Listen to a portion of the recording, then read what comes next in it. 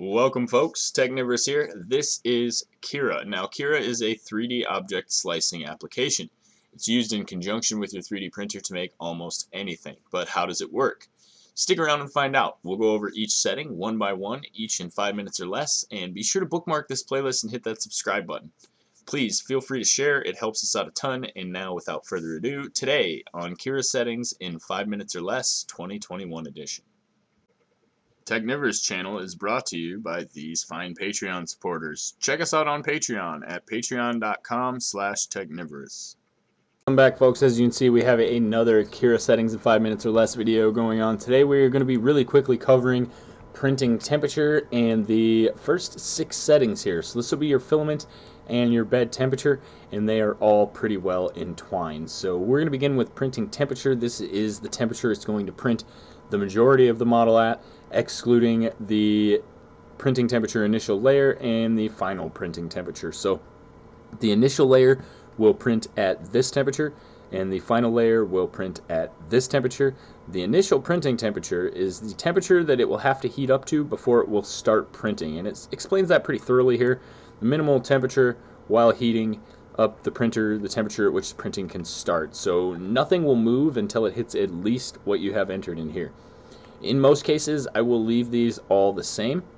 And we are printing PLA, so we are in the 200 to 210 degrees Celsius range.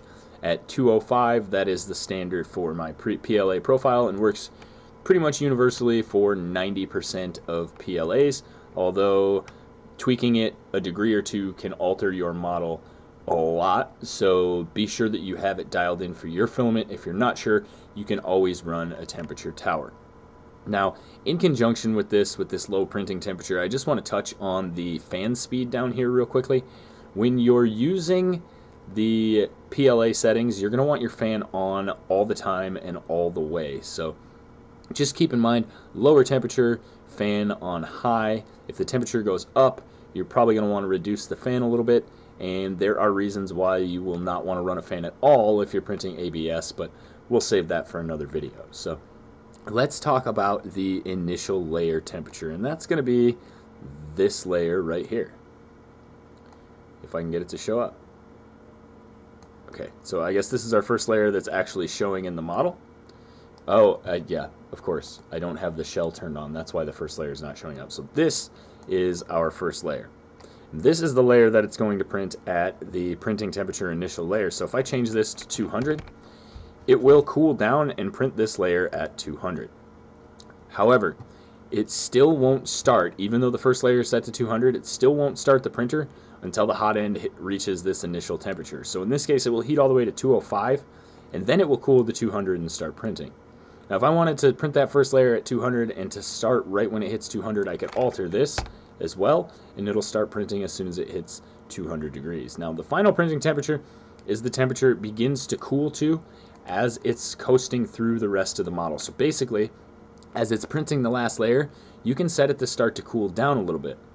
Um, you can also set it to print a little bit hotter if you want to kind of remelt that. It can be good for ironing in some cases if you have a really large flat surface.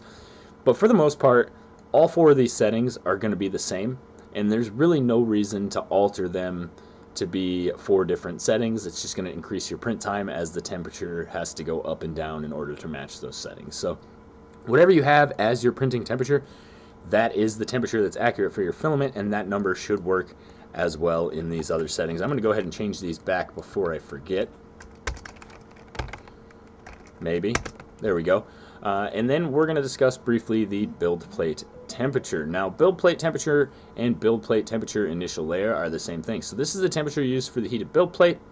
It will not start printing until it is heated. So it says right here, if this is zero, the build plate is left unheated during the first layer. So basically, um, this is kind of backwards from that one. So if I set this to 20 degrees, it'll only heat the build plate to 20 degrees, and then it'll start printing, and between that initial start and the next layer, it will raise the bed to 65 degrees, which is quite a large jump, so it's probably going to create a pause in there. You don't really want to do that. It's best to heat the bed to the temperature you're going to be using and just keep these settings both the same. In some cases of ABS and PETG printing, this setting can come in handy.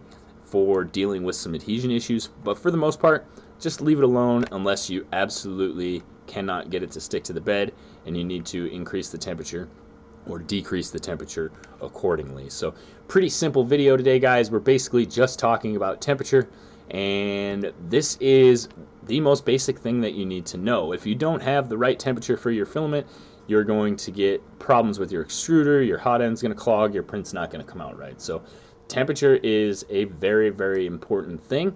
And we are going to cover the rest of these material settings in future videos as well, as they do have a lot to do with the outcome of the model. So make sure you stay tuned for that. Hit that subscribe button so you don't miss anything.